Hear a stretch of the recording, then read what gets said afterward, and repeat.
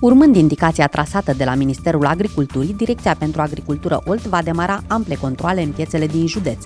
Obiectivul verificării vizează indicarea corectă a provenienței tuturor cantităților de legume și fructe aflate în piețe, prin afișarea localității de producție sau a țării de proveniență pentru produsele din import.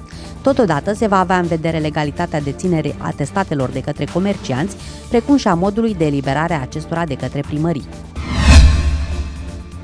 Garda Națională de Mediu, Comisariatul Județean Olt, a aplicat în luna martie amenzi în cuantum total de 60.000 de lei către patru topitorii de pe raza județului pentru emisii de noxe în atmosferă. Administratorii topitoriilor nu au folosit instalațiile de filtrare, eliminând în atmosferă emisii fugitive nedirijate, încălcând astfel prevederile legale privind calitatea aerului înconjurător. Patru șoferi băuți la volan, cu vârste între 17 și 34 de ani, au depistat în trafic polițiști olteni în acest sfârșit de săptămână pe raza localităților Vitomirești, Tufen și Caracal.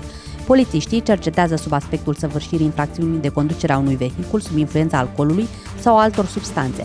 În cazul celui mai tânăr șofer, prins în timp ce conducea un moped, fără a poseda permis de conducere, se fac cercetări și pentru furt, scuterul pe care o conducea fiind sustras de la fratele său.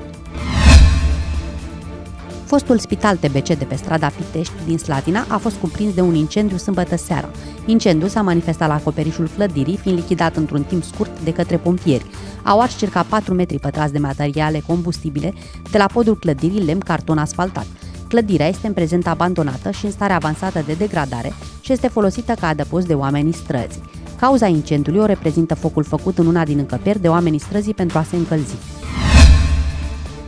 Polițiștii din cadrul secției 4 de Poliție Rurală Coteana au depistat vineri pe raza comunei Milcov un bărbat de 39 de ani din comuna Bere Voiești, județul Argeș, în timp ce transporta cu autoutilitară material lemnos fără ca acesta să corespundă cu avizul de însoțire. Persoana în cauză a fost sancționată cu amendă contravențională în cuantum de 3.000 de lei.